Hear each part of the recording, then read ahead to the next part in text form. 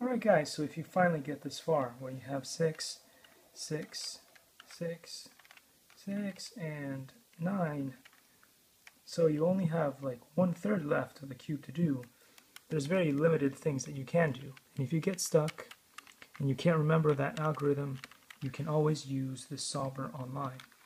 Now, to make sure that this actually works, you need to make sure that you orient your cube in the right way.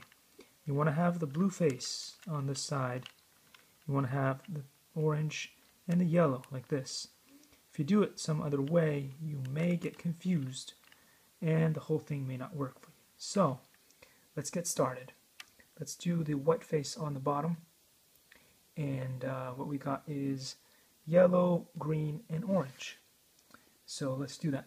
Let's find yellow, green, and orange. In the next video, we'll Likey